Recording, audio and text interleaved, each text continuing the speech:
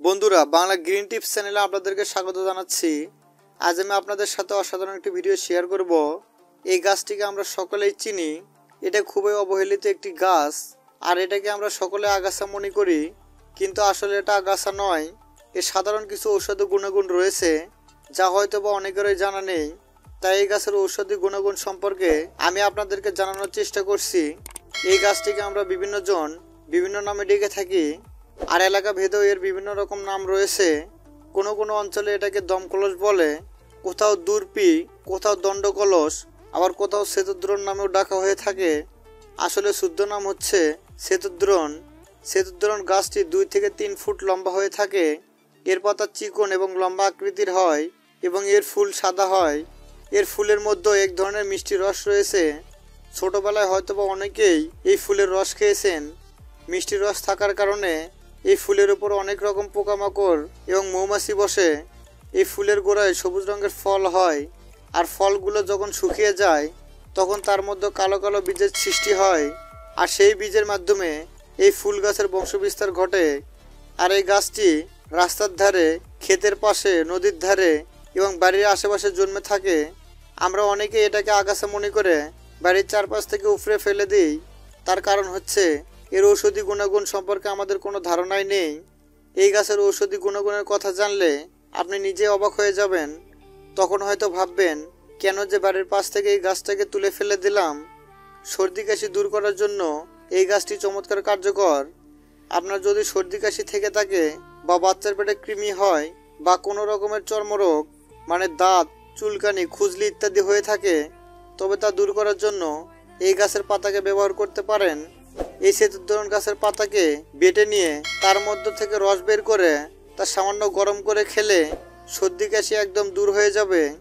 বাচ্চাদের পেটে যদি কৃমি হয়ে থাকে, তবে তা দূর করার জন্য এই সেতুদ্রণ গাছের পাতার রস তাকে খাওয়াতে পারেন।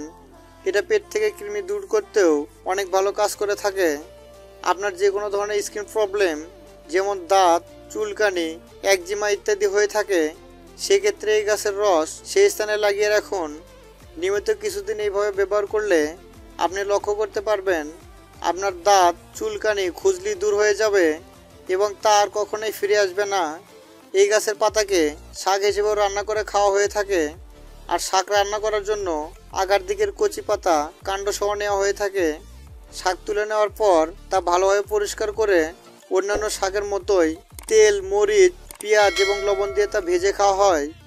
তবে এলাকা ভেদে রান্নার সময় হলুদ, মরিচ বা অন্যান্য মশলায় ভিন্নতা চলে আসে। গর্ভবতী মা ও শিশুদের খিচুড়ি ও জাউ ভাতের সঙ্গে এই শাক সিদ্ধ করে খাওয়ানো হয়ে থাকে। আর এই শাকের পাতাকে শাক হিসেবে রান্না করে খেলে বাতের ব্যথা দূর হয়ে যাবে। তাছাড়া অনিদ্রা দূর করতে এই গাছের পাতা বেশ কার্যকর। তাই আপনার যদি অনিদ্রা মানে রাতের ঘুমের সমস্যা হয়ে থাকে, তাহলে এই গাছের পাতার রস খেতে পারেন। এর ফলে আপনার ঘুমের সমস্যা দূর হয়ে যাবে।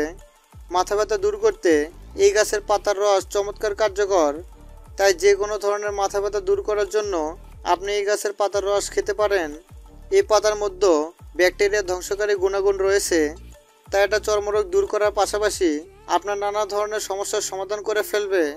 এই গাছের চাষাবাদ করতে হয় না। শীতের সময় এটা রাস্তার ধারে সরিষা খেতে, গম খেতে, আগাছা হিসেবে প্রচুর জন্মায়।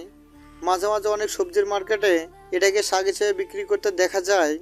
কারণ এর ঔষধি গুণাগুণ রয়েছে, তাই এই গাছটির ঔষধি গুণাগুণ পাওয়ার জন্য আপনি এই গাছের পাতাকে শাক হিসেবে রান্না করে খেতে পারেন। তো ফ্রেন্ডস আজ এই পর্যন্তই। আবারও নতুন কোনো ভিডিও নিয়ে হাজির হব আপনাদের সামনে।